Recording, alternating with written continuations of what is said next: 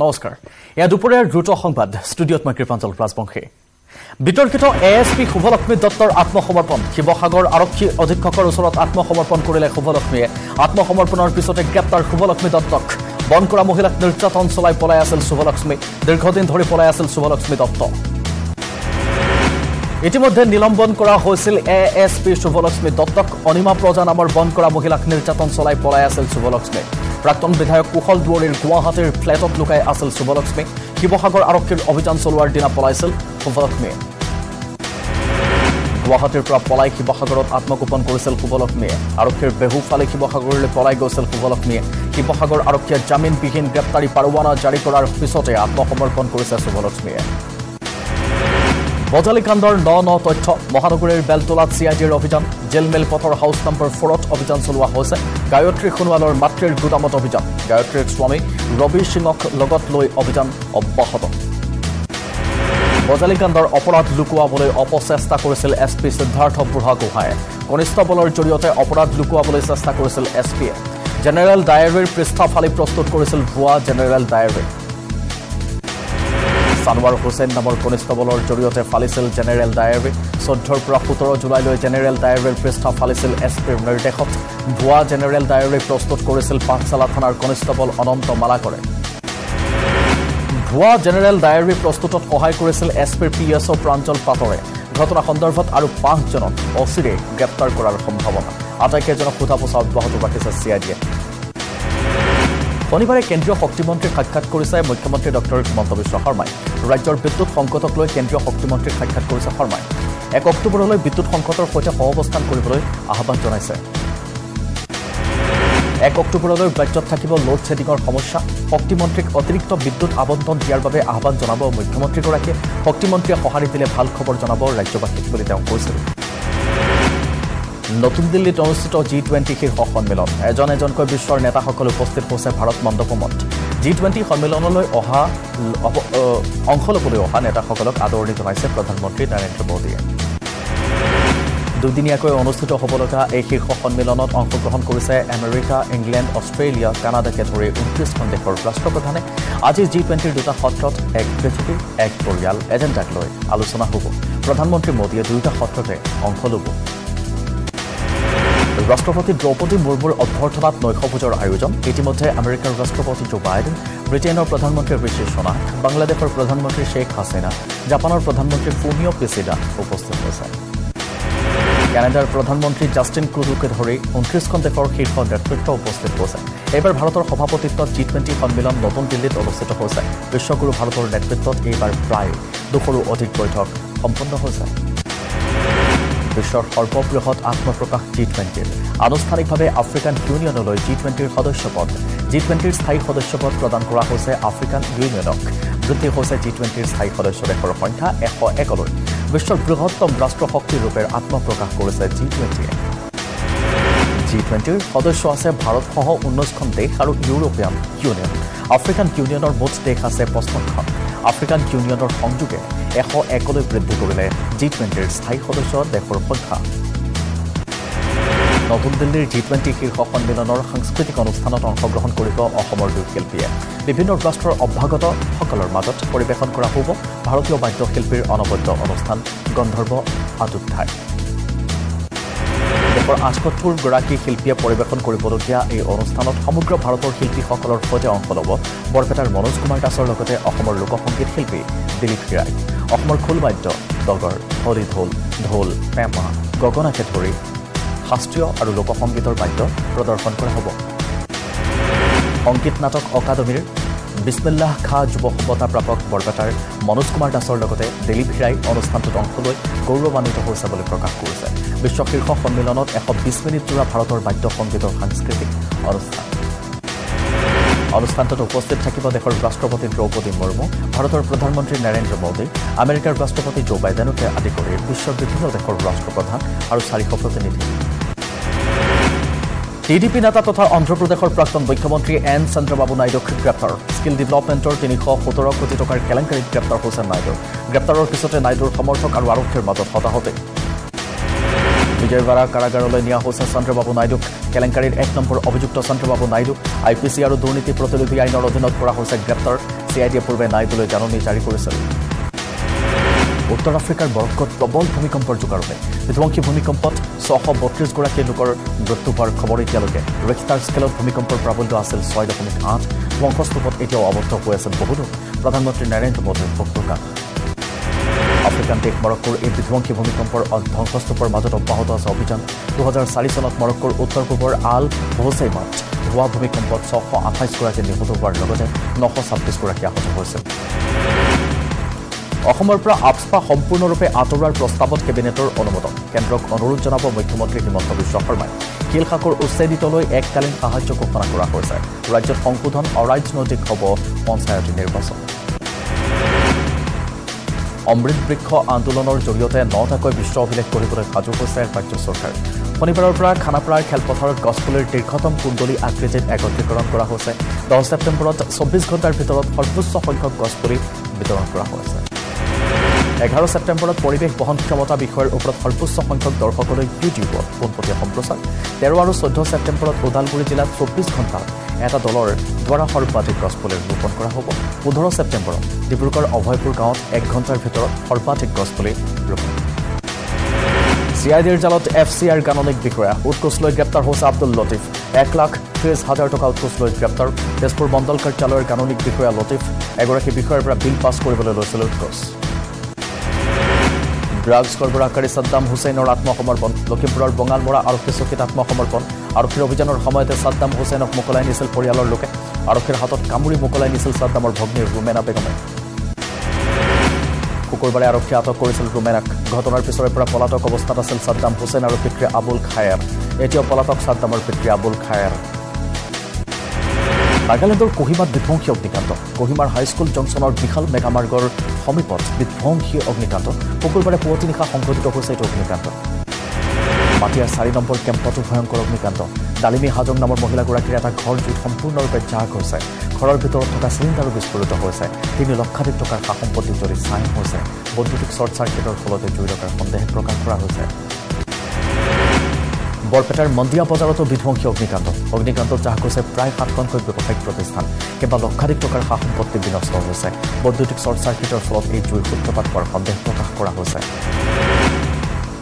ধুবুৰীৰ গোলকগঞ্জত চাঞ্চল্যকৰ ঘটনা। চাৰি বছৰীয়া শিশুক যৌন নিৰ্যাতন চলোৱা অভিযুক্তক থানাৰ পৰা পলায়ন কৰা হৈছে। উল্লেখ কৰিব লাগিব যে শুকুৰবাৰে দিনৰ প্ৰায় বাৰ বজাত গোলকগঞ্জত দুজন যুৱকে এগৰাকী কণমানি শিশুক চকলেট কিনি দিয়াৰ প্ৰলোভনেৰে এটা কোঠালীলৈ লৈ গৈছিল। যৌন নিৰ্যাতন চলোৱাত শিশুটিয়ে চিঞৰ বাখৰ কৰে। চিঞৰ শুনি শিশুটিৰ মাতৃ সেই ঠাইত উপস্থিত হোৱাৰ লগে লগে দুই লম্পতে পলায়নৰ চেষ্টা চলাই যদিও ৰাইজে কৰায়ত্ব কৰে। পিছত যুৱক দুজনৰ পৰিয়ালৰ লোকে ঘটনাস্থলীত উপস্থিত হৈ মাৰপিট কৰি মুকলি কৰি লৈ আহে। শিশুটিৰ পিতৃয়ে গোলকগঞ্জ থানাত দাখিল কৰা এজাহাৰৰ ভিত্তিত এটা অভিযুক্তক আটক কৰিছে আৰক্ষীয়ে নিশাই গোলকগঞ্জ থানাৰ পৰা অভিযুক্ত পলাই যায়। নিৰ্যাতিতাৰ পৰিয়ালে সমগ্ৰ ঘটনাত গোলকগঞ্জ আৰক্ষীৰ ভূমিকা ৰহস্যজনক বুলি অভিযোগ উত্থাপন কৰিছে। নৱবৰ্ষৰ প্ৰথম সপ্তাহৰ পৰা আৰম্ভ হ'ব গণোৎসৱ। তিনিটা পৰ্যায়ত অনুষ্ঠিত হ'ব গণোৎসৱ। তিনিৰ পৰা ছয় জানুৱাৰীলৈ প্ৰথম পৰ্যায়ৰ গণোৎসৱ। প্ৰথম পৰ্যায়ত দহখন জিলাক্ৰমে বৰপেটা কৰিমগঞ্জ কামৰূপ কাৰ্বি আংলং কোকৰাঝাৰ লখিমপুৰ জিলা। নগাঁও শিৱসাগৰ দক্ষিণ শালমাৰা মানকাছৰ আৰু ওদালগুৰি অনুষ্ঠিত হ'ব। নৰ পৰা বাৰ জানুৱাৰীলৈ দ্বিতীয় পৰ্যায়ৰ গণোৎসৱ বাক্সা চিৰাং চৰাইদেউ ধেমাজি ধুবুৰী গোলাঘাট হাইলাকান্দি যোৰহাট কামৰূপ মহানগৰ শোণিতপুৰ তিনিচুকীয়াকে ধৰি এঘাৰখন জিলাত গণোৎসৱ অনুষ্ঠিত হ'ব। ছয় ফেব্ৰুৱাৰীৰ পৰা ন ফেব্ৰুৱাৰীলৈ দহখন জিলাত তৃতীয় পৰ্যায়ৰ গণোৎসৱ অনুষ্ঠিত হ'ব। জিলাকেইখন ক্ৰমে বঙাইগাঁও দৰং ডিব্ৰুগড় গোৱালপাৰা কাছাৰ নলবাৰী মৰিগাঁও ডিমা হাছাও মাজুলী আৰু পশ্চিম কাৰ্বি আংলং। উৎকট গৰমৰ বাবে মাজুলীত স্কুলৰ পাঠদানৰ সময় সাল সলনি কৰা হৈছে। শনিবাৰে পুৱা সাত বাজি ত্ৰিছ মিনিটৰ পৰা পাঠদান আৰম্ভ হৈছে। প্ৰাথমিক পৰ্যায়ত সাত বাজি ত্ৰিছ মিনিটৰ পৰা বাৰ বাজি পোন্ধৰ মিনিটলৈ পাঠদান মাধ্যমিক পৰ্যায়ত সাত বাজি ত্ৰিছ মিনিটৰ পৰা বাৰ বাজি পঞ্চল্লিছ মিনিটলৈ পাঠদান উচ্চতৰ মাধ্যমিকত সাত বাজি ত্ৰিছ মিনিটৰ পৰা এক বাজি পঞ্চল্লিছ মিনিটলৈ পাঠদান। বাৰিষা আহিলেই প্ৰতি বছৰে বান খহনীয়াত হাৰাশাস্তিৰ সন্মুখীন হয় কোকৰাঝাৰ চহৰৰ পাৰ্শ্বৱৰ্তী মকৰাপাৰাৰ ইন্দিৰা কলনীৰ বাসিন্দাসকল। গৌৰাং নৈৰ বান আৰু খহনীয়াৰ ফলত ইতিমধ্যে কেইবাটাও পৰিয়ালৰ ঘৰ নৈৰ বুকুত বিলীন হৈছে। ৰাজ্যক কঁপাই যোৱা বিজেপি নেত্ৰী জোনালী নাথ হত্যাকাণ্ডৰ চাৰ্জশ্বীট দাখিল কৰিছে আৰক্ষীয়ে। নথি পত্ৰসহ প্ৰায় দুহাজাৰ পৃষ্ঠাৰ চাৰ্জশ্বীট আদালতত দাখিল কৰিছে আৰক্ষীয়ে। জোনালী নাথ হত্যাকাণ্ডৰ প্ৰায় তিনি মাহ সম্পূৰ্ণ হ'ল। এতিয়াও হত্যাকাৰীৰ ফাঁচীৰ দাবীত অটল প্ৰয়াত জোনালী নাথৰ স্বামী। যোৱা এঘাৰ জুনত দুই হত্যাকাৰী ক্ৰমে হাছনুৰ আৰু আজিবোৰে অতি নিৰ্মমভাৱে হত্যা কৰিছিল বিজেপি নেত্ৰী জোনালী নাথক। হত্যাকাণ্ড সংঘটিত হোৱাৰ চৌব্বিছ ঘণ্টাত নহওঁতেই হত্যাকাণ্ডৰ মাষ্টাৰ মাইণ্ড হাছনুৰক গ্ৰেপ্তাৰ কৰি তৎপৰতা দেখুৱাইছিল মাটিয়া আৰু গোৱালপাৰা আৰক্ষীয়ে। তো হত্যাকাৰী এতিয়াও ভঙা ঘৰতে আছে। মাটিয়াবাসীয়েও বিচাৰিছে হত্যাকাৰীৰ কঠোৰ শাস্তি হওক। কৃষকৰ যেন সমস্যাৰ ওপৰত সমস্যা বানে ধান খেতি নষ্ট কৰাৰ পিছত এতিয়া চৰহা পোকে তহিলং কৰিছে সেউজীয়া ধাননি। গহপুৰৰ নাহৰণি অঞ্চলত কৃষকৰ হাহাকাৰ অৱস্থা শুকান ধান খেৰ সদৃশ হৈ পৰিছে বিঘাই বিঘাই ধান খেতিসমূহ মহানগৰীত আৰক্ষীৰ জালত ভুৱা আলফা সদস্য আলফাৰ নামত ধন দাবী কৰি গ্ৰেপ্তাৰ হৈছে তিনিজন। ক্ৰাইম ব্ৰাঞ্চৰ সহযোগত গ্ৰেপ্তাৰ কৰা হৈছে আৰক্ষীৰ দ্বাৰা। বাঘৰপৰীৰ দেৱপ্ৰকাশ ভাগৱতী নামৰ লোকজনক দাবী কৰিছিল ধন পাঁচ লাখ টকা দাবী কৰি গ্ৰেপ্তাৰ। দাবী কৰা ধন নিবলৈ আহি জালত পৰিল ভুৱা আলফা সদস্য। গ্ৰেপ্তাৰ তপন তালুকদাৰ বিকি থাপা আৰু গৌতম তালুকদাৰক। হেঙেৰাবাৰীৰ স্বৰাজ নগৰৰ পৰা গ্ৰেপ্তাৰ কৰা হৈছে তিনিওকে পেছাত জি এন আৰ চি হাস্পতালৰ কৰ্মচাৰী বিকি থাপা তপন তালুকদাৰ। মূল অভিযুক্ত গৌতম তালুকদাৰৰ নেতৃত্বত দাবী কৰিছিল ধন মহানগৰীৰ জি এছ ৰোডত শুকুৰবাৰে নিশা ভয়ংকৰ দুৰ্ঘটনা। ৰৈ থকা ভক্স ৱেগন বাহনত খুন্দা তীব্ৰবেগী বাইকৰ শ্ৰীনগৰৰ ট্ৰেফিক ছিগনেলত এই দুৰ্ঘটনা। গুৰুতৰভাৱে আহত বাইক আৰোহীজনক চিকিৎসালয়ত ভৰ্তি। ৰাজ্যত অব্যাহত চোৰাং গৰুৰ ৰমৰমীয়া ব্যৱসায়। শুকুৰবাৰে সন্ধিয়া সাতত্ৰিছ নং ৰাষ্ট্ৰীয় ঘাইপথেৰে এখন ট্ৰাকেৰে চাল্লিছটা গৰু লৈ গৈ থকা অৱস্থাত ডিমৌ চাৰিআলিত ছাত্ৰ সন্থাৰ কেইজনমান কৰ্মীয়ে যান বাহন আৰক্ষীৰ সহযোগত কৰায়ত্ব কৰে। কৰিমগঞ্জৰ অসম ত্ৰিপুৰা সীমান্তত পুনৰ জব্দ হৈছে ষাঠি লক্ষ টকাৰ গাঞ্জা। চোৰাইবাৰীত আৰক্ষীৰ অভিযানত জব্দ হৈছে চাৰিশ এক কিলোগ্ৰাম গাঞ্জা। আটক হৈছে ত্ৰিপুৰাৰ তিনিগৰাকী লোক। ত্ৰিপুৰাৰ পৰা অসম প্ৰৱেশৰ পিছতে ট্ৰাকত চলোৱা হৈছিল তালাচী। তিনিচুকীয়া জিলাখনত থকা ফেক্টৰীসমূহত অৰুণাচল প্ৰদেশত উৎপাদিত কেঁচা চাহপাত প্ৰৱেশক কেন্দ্ৰ কৰি জিলাখনৰ ক্ষুদ্ৰ চাহ খেতিয়কসকল সমস্যাত ভুগিছে। তেনে সময়তে কাকজানত অৰুণাচলৰ কেঁচা চাহপাত ভৰ্তি কৰা দুখন বাহন জব্দ কৰিবলৈ সক্ষম হৈছে। বি টি আৰবাসীৰ বাবে সুখবৰ নেপাল আন্তঃৰাষ্ট্ৰীয় ৱাটাৰ কালাৰ ফেষ্টিভেললৈ নিৰ্বাচিত হৈছে কোকৰাঝাৰৰ ৰচিদুল ইছলাম। ভাৰতক প্ৰতিনিধিত্ব কৰিব ৰচিদুলে অহা দুইৰ পৰা ছয় ডিচেম্বৰলৈ অনুষ্ঠিত হ'ব আন্তঃৰাষ্ট্ৰীয় ৱাটাৰ কালাৰ ফেষ্টিভেল প্ৰতিযোগিতা। দবকাৰ বেদৌ আতিত সুলভ মূল্যৰ দোকানীৰ বিৰুদ্ধে গ্ৰাহকক চাউল কমকৈ দিয়াৰ অভিযোগ। সুলভ মূল্যৰ দোকানী হাৰিছ আলীৰ বিৰুদ্ধে এই অভিযোগ। আব্দুল হেকিম নামৰ লোকজনৰ পত্নীৰ নামত থকা ৰেচন কাৰ্ডখনত আছে আঠজনীয়া সদস্যৰ নাম আঠজনৰ ভিতৰত ছয়জনক ত্ৰিছ কেজিকৈ চাউল দি বাকী দুইজনৰ দহ কেজিকৈ চাউল আত্মসাত কৰাৰ অভিযোগ। গ্ৰাহকে অনলাইন ৰিচিভ সংগ্ৰহ কৰাৰ পিছতে পোহৰলৈ আহিছে এই ঘটনা। ঘটনা সন্দৰ্ভত দবকা থানাত এখন এজাহাৰো দাখিল। তীৰ্থনগৰী হাজোৰ ৰামদিয়াৰ বিনন্দী চন্দ্ৰ মেধি মহাবিদ্যালয়ত সংঘটিত হৈছে বৃহৎ পৰিমাণৰ বিত্তীয় খেলিমেলি। এই খেলিমেলিৰ সন্দৰ্ভত উচ্চ শিক্ষা সঞ্চালকালয়ে তদন্তৰ নিৰ্দেশ দিয়া সকলো তথ্য পোহৰলৈ আহিছে। অভিযোগ অনুসৰি প্ৰতি বছৰে মহাবিদ্যালয়খনৰ দৰিদ্ৰ সীমাৰেখাৰ ওপৰৰ ছাত্ৰ ছাত্ৰীক দৰিদ্ৰ সীমাৰেখাৰ তলৰ বুলি নামভৰ্তি দেখুৱাই ছাত্ৰ ছাত্ৰীক আৰু চৰকাৰৰ পৰা সংগ্ৰহ কৰে বৃহৎ পৰিমাণৰ ধন। তিনিচুকীয়া জিলাৰ বৰডুমচাৰ কুজু পথাৰ চৰকাৰী প্ৰাথমিক বিদ্যালয়ত একচল্লিছগৰাকী ছাত্ৰ ছাত্ৰীৰ বিপৰীতে নাই এজনো শিক্ষক। ছাত্ৰ ছাত্ৰীৰ মাজত হাহাকাৰ অৱস্থাৰ সৃষ্টি হৈছে। ঊনৈছশ তেৱন্ন চনতে স্থাপিত হোৱা এই বিদ্যালয়খনলৈ বিছ আগষ্টৰ পৰা অহা নাই শিক্ষক। গোৱালপাৰাৰ পশ্চিম সমষ্টিত যাতায়াতৰ নামত দুৰ্ভোগ ভুগিব লগা হৈছে। জৰাজীৰ্ণ দলঙৰ ওপৰেৰে দৈনিক যাতায়াত কৰি ৰাখিছে পোন্ধৰৰ পৰা বিছখনকৈ গাঁৱৰ লোকে।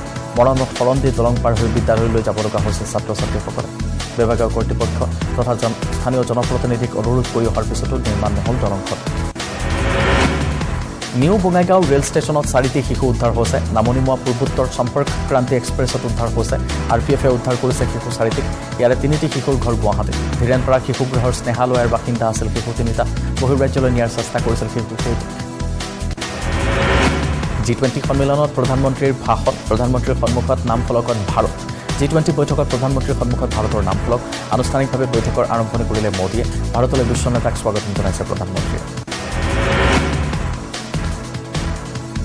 শনিবাৰে মহানগৰীৰ বামুণী মৈদামত অৱস্থিত নিউ গুৱাহাটীৰ ৰেলৱে ইনষ্টিটিউটত ৰেলৱে মজদুৰ ইউনিয়নৰ সহযোগত অনুষ্ঠিত কৰা হয় দ্বিতীয় বাৰ্ষিক N F railway safety seminar শ্ৰমিক সন্থাৰ কাৰ্যালয় পতাকা উত্তোলন কৰি কাৰ্যসূচীৰ শুভাৰম্ভণি কৰাৰ পাছতে নিউ গুৱাহাটী বিহু ফিল্ড হৈ ৰেলৱে ইনষ্টিটিউটলৈ ওলোৱা হয় এক বিশাল সজাগতাৰ ৰেলী। মহানগৰীৰ বামুণী মৈদামত মহিলাৰ আত্মহত্যা সংগীতা বৰা নামৰ মহিলাগৰাকীয়ে কৰিছে আত্মহত্যা স্বামীয়ে মানসিক অত্যাচাৰ চলোৱাৰ অভিযোগ কৰিছে স্বামী নিতুল ৰাজবংশীৰ আছিল পৰকীয়া প্ৰেম এগৰাকীৰ সৈতে গোপনে বিবাহৰ অপচেষ্টা কৰিছিল। বাক্সাৰ আংগাৰ ধোৱাত জঘন্য ঘটনা এটি শিশু সাত বছৰীয়া কন্যা শিশু যৌন নিৰ্যাতন কৰিছে লম্পতে ৰমেন বৈশ্য নামৰ লম্পটটোৰ এই জঘন্য কাণ্ড। দুৰ্ভগীয়া কন্যা শিশুটিৰ পৰিয়ালৰ এজাহাৰৰ ভিত্তিত বৰমা আৰক্ষীয়ে গ্ৰেপ্তাৰ কৰিছে লম্পট ৰমেন বৈশ্যক গোলাঘাটৰ অভিযান্ত্ৰিক মহাবিদ্যালয়ত তৃতীয় দিনাও অব্যাহত আছে প্ৰতিবাদ। ছাত্ৰ ছাত্ৰীসকলে শ্ৰেণী বৰ্জন কৰি অৱস্থান ধৰ্মঘট কাৰ্যসূচী ৰূপায়ণ কৰিছে। অধ্যক্ষক সমস্যাসমূহক লৈ বিভিন্ন প্ৰশ্ন তুলিছে শিক্ষাৰ্থীয়ে। খোৱা পানী বিদ্যুতৰ সমস্যা সমাধানৰ দাবী তুলিছে। কলিয়াবৰ তিনিআলিৰ পৰা নোহোৱা হৈছে অসম ৰাজ্যিক পৰিবহণ নিগমৰ এটি বাছ আস্থান অগপ চৰকাৰৰ দিনতে প্ৰাক্তন মুখ্যমন্ত্ৰী প্ৰফুল্ল কুমাৰ মহন্তই ঊনৈছশ আঠাশী চনতে উজনি নামনি উত্তৰ পাৰৰ যাত্ৰীৰ বাবে কলিয়াবৰ তিনিআলিত স্থাপন কৰিছিল বাছ আস্থানটো। চৰকাৰী ভূমি অধিগ্ৰহণেৰে স্থাপন কৰা আস্থানটো এতিয়া পৰিণত হৈছে লাইন ধাবালৈ। কংগ্ৰেছ চৰকাৰৰ শাসনকালত কলিয়াবৰ তিনিআলিত বাছ আস্থানটো লিজত গতাই দিয়া হ'ল ব্যক্তিগত খণ্ডক। ৰাইজৰ স্বাৰ্থত পুনৰ বাছ আস্থানটো মুকলি কৰাৰ দাবী। মুখ্যমন্ত্ৰী ডক্টৰ হিমন্ত বিশ্ব শৰ্মা আৰু জলসম্পদ মন্ত্ৰী পীযুষ হাজৰিকাৰ দীৰ্ঘায়ু আৰু সুস্বাস্থ্য কামনাৰে বন্তি প্ৰজ্বলন কৰিছে কাংকৰ পাৰ্টীয়ে শিৱসাগৰ জিলাৰ ৰুদ্ৰসাগৰ গাঁও পঞ্চায়তৰ অন্তৰ্গত ভাটিবন গাঁৱৰ ৰাইজৰ চৰকাৰলৈ কৃতজ্ঞতা। তিনি ছেপ্টেম্বৰত মন্ত্ৰী পীযুষ হাজৰিকাক সদৌ শিৱসাগৰ জিলা অনুসূচিত জাতি ছাত্ৰ সন্থাই স্মাৰক পত্ৰ প্ৰদান কৰি বানবিধ্বস্ত গাঁওখনৰ ৰাইজক এক বিঘাকৈ মাটি দি পুনৰ সংস্থাপন দিবলৈ অনুৰোধ জনাইছিল। মন্ত্ৰীগৰাকীয়ে সেই অনুৰোধ ৰক্ষা কৰি নিৰ্দেশনা প্ৰদান কৰাৰ পাছতে তেখেতৰ দীৰ্ঘায়ু কামনা। টিংখাং চাহ বাগিচাত চিকাৰ বোলছবিৰ দৃশ্য গ্ৰহণত ব্যস্ত হৈ আছে জুবিন গাৰ্গ। জুবিন গাৰ্গে এজন আদিবাসী যুৱকৰ চৰিত্ৰত এইবাৰ অভিনয় কৰিছে। বোলছবিখনৰ দৃশ্যগ্ৰহণ লণ্ডনতো চলিব। প্ৰায় সত্তৰ শতাংশ দৃশ্যগ্ৰহণ এইবাৰ লণ্ডনত চলিব। মণিপুৰৰ ঘটনা যথেষ্ট সংবেদনশীল। গোটেই ঘটনাৰ নেপথ্যত কংগ্ৰেছ আছে। প্ৰধানমন্ত্ৰী গৃহমন্ত্ৰীয়ে যথেষ্ট সাৱধানতাৰে পৰিস্থিতি নিয়ন্ত্ৰণলৈ অনাৰ চেষ্টা চলাইছে আৰু সফল হৈছে। এক সংবাদমেলযোগে মন্তব্য কৰিছে আঙুৰলতা ডেকাই মহানগৰীৰ বিজেপিৰ মুখ্য কাৰ্যালয়ত ন ছেপ্টেম্বৰত অনুষ্ঠিত হ'ব ৰাষ্ট্ৰীয় মহিলা মৰ্চাৰ বিশেষ কাৰ্যনিৰ্বাহক সভা। মুঠ পঁয়ত্ৰিছখন ৰাজ্যৰ মহিলা মৰ্চাৰ সভাপতিয়ে অংশগ্ৰহণ কৰিব এই সভাত। দুশ প্ৰতিনিধিয়ে অংশগ্ৰহণ কৰিব এই কাৰ্যনিৰ্বাহক সভাত। দুহেজাৰ চৌব্বিছৰ লোকসভা আৰু পাঁচ ৰাজ্যৰ বিধানসভা নিৰ্বাচনৰ বাবে মহিলা মৰ্চাৰ ৰোড মেপ প্ৰস্তুত কৰিব বৈঠকত ন ছেপ্টেম্বৰৰ কাৰ্যসূচীৰ শুভাৰম্ভণি কৰিব প্ৰাক্তন কেন্দ্ৰীয় মন্ত্ৰী বিজয়া চক্ৰৱৰ্তীয়ে। সামৰণি অনুষ্ঠানটো উপস্থিত থাকিব মুখ্যমন্ত্ৰী ডক্টৰ হিমন্ত বিশ্ব শৰ্মা।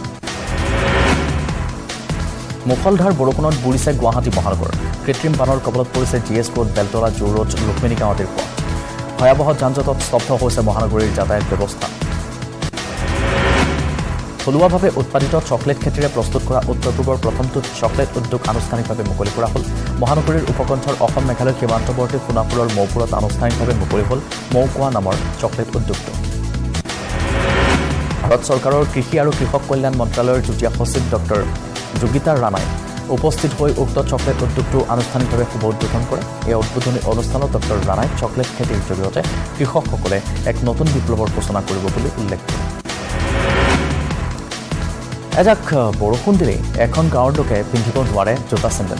একবিংশ শতিকাৰ পৰিৱৰ্তনকামী চৰকাৰৰ দিনৰ এই গাঁওখন।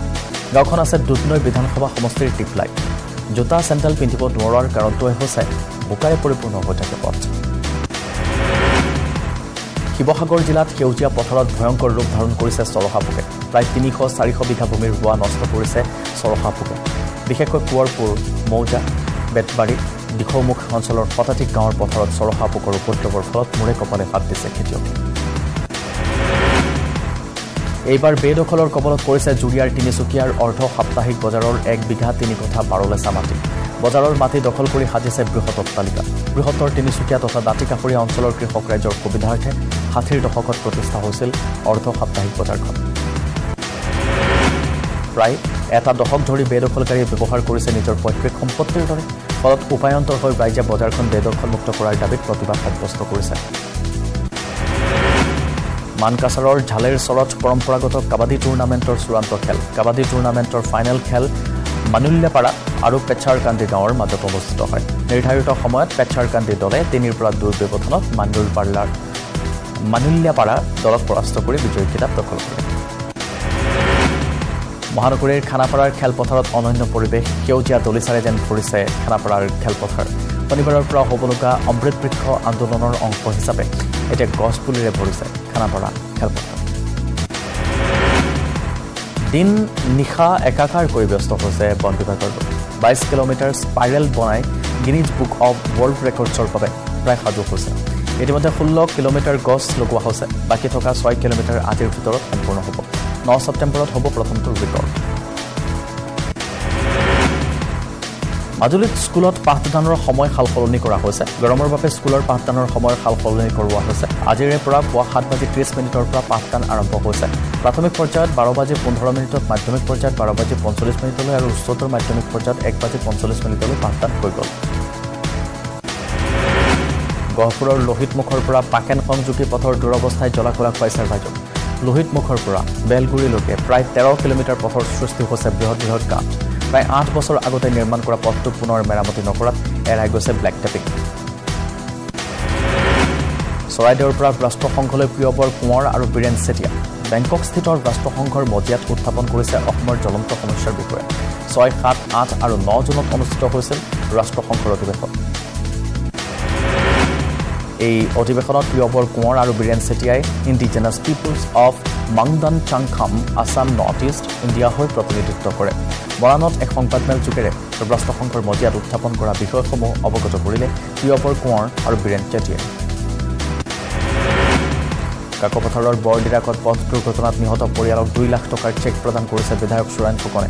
যোৱা পাঁচ ছেপ্টেম্বৰৰ নিশা কাকপথাৰত সংঘটিত পথ দুৰ্ঘটনাত নিহত হৈছিল সাতগৰাকীকৈ লোক আহত হৈছিল শিশুসহ মুঠ এঘাৰগৰাকী। নগাঁও জিলাৰ চামগুৰি গেৰুৱামুখত নন্দোৎসৱ পালন কৰা হ'ল।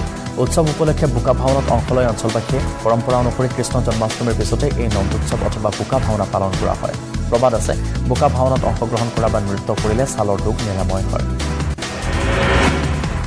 একেদৰে জামুগুৰিহাটৰ ঐতিহ্যমণ্ডিত পাতলৰ চুক গাঁৱতো দুদিনীয়া বিস্তৃত কাৰ্যসূচীৰে অনুষ্ঠিত হয় শ্ৰীকৃষ্ণ জন্মাষ্টমী এই উপলক্ষে বোকা খচা ভাওনাত অংশ লৈ সকলোৱে কৃষ্ণ জন্মৰ আনন্দত মতলীয়া হৈ পৰে। মৰাংগ মৰাণত উইংগাৰত আহি থকা যাত্ৰীৰ অস্বাভাৱিক মৃত্যু। এম চি এইচৰ পৰা ডিমৌলৈ বুলি উইংগাৰত আহি আছিল লোকজন। মৃত যাত্ৰীগৰাকী হৈছে ডিমৌ মাছকাৰা লাইনৰ দীননাথ ভূঞা। মৰাণত নামিবলৈ বিচৰাতহে ধৰা পৰে লোকজনৰ মৃত্যু হোৱাৰ কথা। ঢেলাখাত চাহ বাগিচাত শ্ৰম মন্ত্ৰী সঞ্জয় কিষাণক ঘেৰাও শ্ৰমিকৰ। চাহ বাগিচাত মন্ত্ৰীগৰাকী হঠাৎ শ্ৰম বিভাগৰ অতিৰিক্ত আয়ুক্ত ভাস্কৰ মিনিক লগত লৈ প্ৰৱেশ কৰিছিল। বাগিচাৰ চিকিৎসালয় পৰিদৰ্শন কৰাৰ পাছতে শতাধিক শ্ৰমিকে আগুৰি ধৰে মন্ত্ৰীসহ দলটোক। দক্ষিণ কামৰূপৰ স্বেচ্ছাসেৱী সংগঠন সন্মিলিত তিনিআলি সংঘৰ বাষষ্ঠি সংখ্যক প্ৰতিষ্ঠা দিৱস পালন কৰা হয়। প্ৰতিষ্ঠা দিৱসতে উচ্চ আৰু উচ্চতৰ মাধ্যমিক শিক্ষান্ত পৰীক্ষাত সুক্ষিতাৰে উত্তীৰ্ণ হোৱা ছাত্ৰ ছাত্ৰীক সম্বৰ্ধনা জনোৱা হয়। সংঘৰ সভাপতি হীৰেণ দাস আৰু সম্পাদক পৰাগমণি দাসক অঞ্চলবাসীৰ শলাগ দ্বিতীয় দিনাও অব্যাহত আছে গোলাঘাটৰ অভিযান্ত্ৰিক মহাবিদ্যালয়ত ছাত্ৰ ছাত্ৰীৰ প্ৰতিবাদ। মহাবিদ্যালয়ৰ চৌহদত মৌন প্ৰতিবাদ কৰি আছে ছাত্ৰ ছাত্ৰীসকলে কেইবাটাও গুৰুত্বপূৰ্ণ সমস্যা সমাধানৰ দাবীত শ্ৰেণী বৰ্জন কাৰ্যসূচী অব্যাহত ৰাখিছে ছাত্ৰ ছাত্ৰীয়ে বিদ্যুতৰ অনিয়মীয়া যোগান বিশুদ্ধ খোৱা পানীৰ সমস্যাত হাহাকাৰ লাগিছে ছাত্ৰ ছাত্ৰীৰ মাজত। হোষ্টেলত পানীৰ সমস্যাৰ বাবে দুদিন ধৰি গা ধুব পৰা নাই ছাত্ৰ ছাত্ৰীসকলে চৌব্বিছ ঘণ্টা পৰ্যন্ত বিদ্যুৎ নথকাৰো অভিযোগ ছাত্ৰ ছাত্ৰীৰ হাবি জংঘলৰে ভৰি পৰিছে মহাবিদ্যালয়ৰ চৌহদ। হাবি পৰিষ্কাৰ কৰিবলৈও ধন দিব লাগে ছাত্ৰ ছাত্ৰীয়ে ইণ্টাৰনেট লাইব্ৰেৰী আদি বিভিন্ন ক্ষেত্ৰৰ বাবে ছাত্ৰ ছাত্ৰীৰ পৰা ধন লয় যদিও কোনো সা সুবিধা প্ৰদান নাই কৰা।